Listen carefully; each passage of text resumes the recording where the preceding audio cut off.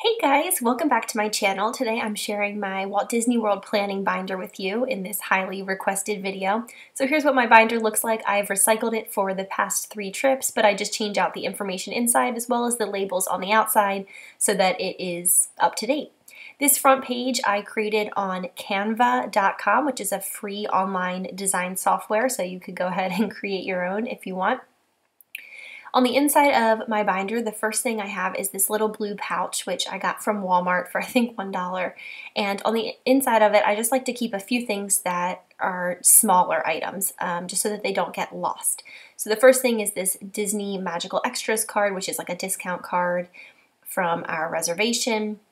Then I have these these little cards that I created with self-laminating little pouches and these have our tour plans on them from our very first Disney World trip back in 2016. We no longer use these cards, but they were super helpful on that first trip when we really didn't know what we were doing for us to optimize our time in Walt Disney World as well as we spent one day in Universal Studios. So that's something that I do recommend if you're going on your first trip and you really want to optimize your time.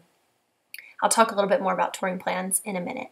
And then this is what they send, Disney sends right after you book your vacation, and it was nice to keep that as kind of a little souvenir in this pouch. So all those things just go in the front. Also, when we are packing this in our carry-on, this Disney planning binder, we'll also throw like a pen in there, and that's also in that front pouch is where we keep the Mousekeeping envelopes um, that have tips in them that I showed in my Disney planning video, which I will link above if you're interested. Then I just have a blank calendar so that I can remember what day of the week corresponds with what day of the month. And then I have our master Disney trip plan. This is what our whole vacation boils down to, this one page. I just created this on Numbers, which is a free software that comes on Mac computers, but you could also use Excel, you could use Google Sheets online. There's a lot of different ways that you could create something like this for your trip. But I just have our days and then our dates, what parks we're going to, the times for the parks, breakfast, lunch, and dinner, fast passes, and then some notes at the bottom. And we email this to ourselves and save it onto our cell phones as well so that we have that information with us on the go.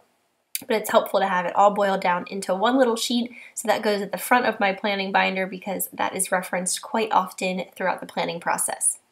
Then on the back of that, I have some, a printout from wdwprepschool.com, which you'll see I have a lot of printouts from her, and that just has information about which parks are best to go to on which days based on crowd levels.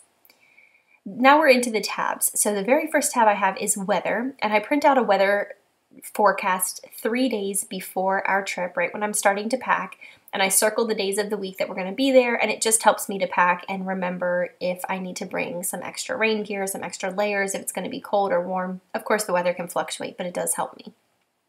Now moving on to the next tab, which is confirmation numbers. And of course, this is self-explanatory. It's all the confirmations. So that was our hotel confirmation, all of our dining reservations, our flight reservations and confirmations for our flight are right here. Then we have our Magical Express confirmation numbers and information all on this page and this Magical Express also has more information about when you get to the Orlando airport and luggage delivery and all that kind of stuff. Then we're into park maps. So I'm a member of WDW Prep School's tiered membership program and I'm just a bottom level member, but I can still get access to these gorgeous maps of Magic Kingdom, Epcot, Hollywood Studios, and Animal Kingdom. So if you're interested, head over there. I will leave a link below. I also have a driving route map of Disney World because we did rent a car on our first trip, and then I have an, some information about getting around Disney using their transportation.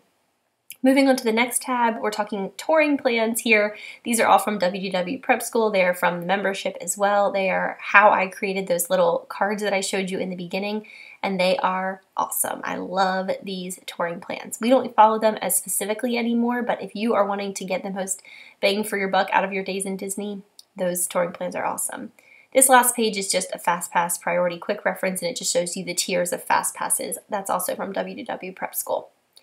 Then at the very end, I have a menus tab. I used to print out, like on our first trip, I printed out all of the menus of where we were going. I don't do that anymore. I just look on the app, but I do have a little packet of information about the Disney dining plan, which is nice to reference if I ever have questions about anything or something like that. And then just a couple of extra sheet protectors at the end in case any more information comes up that I want to put into this binder. So that is my Disney planning binder. It is pretty simplistic, just pretty straightforward, has some information about all different aspects of our trip, but I do like having it all printed out because of course you can access all of this information online. For me, having it printed out and bound into just one easy binder that's small really is helpful to me for planning and kind of reference sake.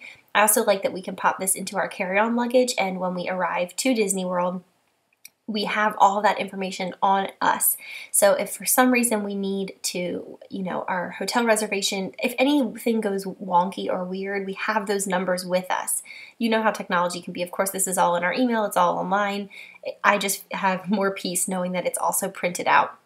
So that's helpful. This is also helpful for planning trips year over year. So when we plan our trip for next year, I will be able to look back through this year's and remember how we planned things, what worked, what didn't, and kind of adjust from there. So this is my Disney planning binder. I would love for you to comment below if you have your own Disney planning binder or if you have any questions. Thanks for watching. Bye.